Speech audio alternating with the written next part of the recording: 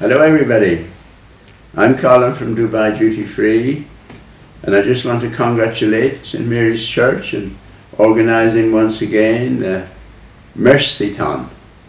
The proceeds from the Mercithon go to cancer treatment and it is terrific that so many people participate in it. I want to welcome all of you and hope you enjoy the time and realise that you're contributing to something very, very important. And I'm very happy that Dubai Duty Free can once again support this event and I wish you all well. Thank you for participating. God bless you all.